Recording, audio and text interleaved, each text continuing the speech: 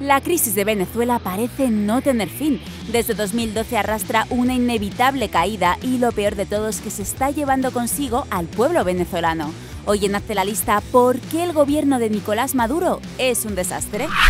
Nicolás Maduro no es un estadista, ni un economista, ni siquiera un hombre de letras. El presidente de la República Bolivariana es político. Empezó su carrera como conductor del metro y pronto entró en el sindicato, desde donde empezó a medrar al lado de Chávez. Ya con Chávez en el gobierno, Maduro tuvo el puesto de exteriores sin ningún tipo de experiencia previa ni idiomas. Maduro se mantuvo cercano al presidente hasta que su muerte lo convirtió en el hombre que dirigía Venezuela con la ayuda de un pajarito parlante. Bueno, más que mala es tremenda, tremenda porque Venezuela es uno de los países más ricos de América y sin embargo su población se muere de hambre.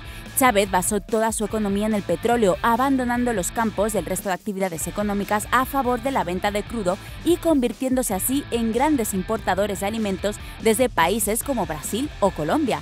Todo iba bastante bien hasta que el barril de crudo pasó de 100 a 48 dólares y comenzó una explosión en cadena que convertiría a Venezuela en un país en quiebra. Al llegar Chávez a la presidencia de Venezuela, la extracción y venta del crudo se nacionalizó.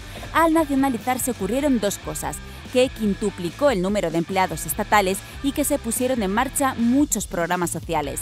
De esta manera, al caer el precio del petróleo y por consiguiente sus ingresos, el Estado se encontró con una población directamente dependiente e imposible de mantener.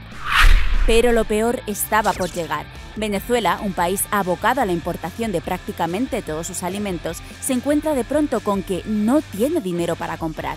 ¿Y qué pasa entonces? Pues que los precios suben, el poder adquisitivo de la población no, llega la inflación, que ahora se encuentra en un 720%, la escasez de alimentos y la pobreza. Para que os hagáis una idea, la canasta básica de comida cuesta cinco veces más que el salario mínimo del país.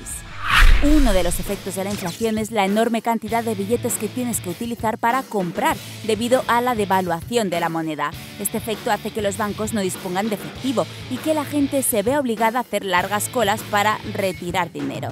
A fin de paliar este efecto colateral, Maduro ha impreso un nuevo billete de 100.000 bolívares, que no arreglará el problema, pero que le permitirá dar la sensación de estar haciendo algo.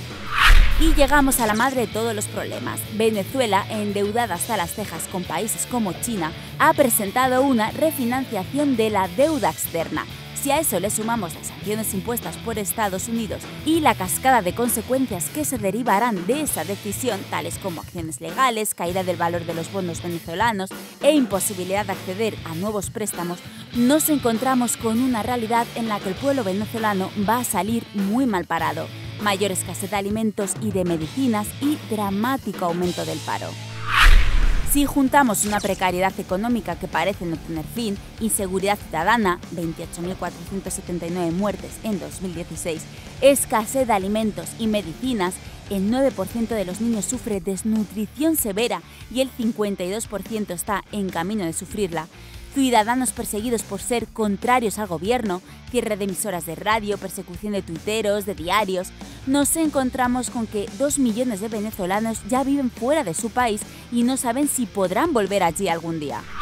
Pues estas son algunas de las razones por las que Venezuela no sale de la crisis. ¿Y tú qué opinas?